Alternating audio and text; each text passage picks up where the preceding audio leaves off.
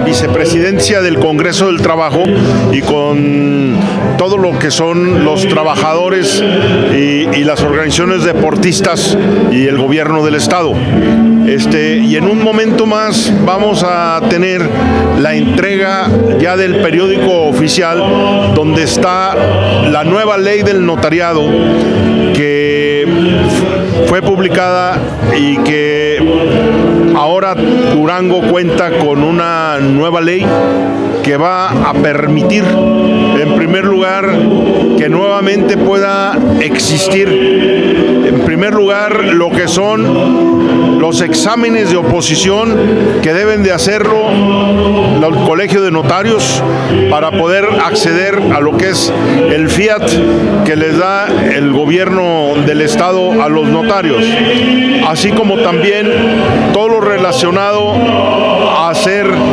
un estudio en cada uno de municipios y del área de, de, todo el estado donde podamos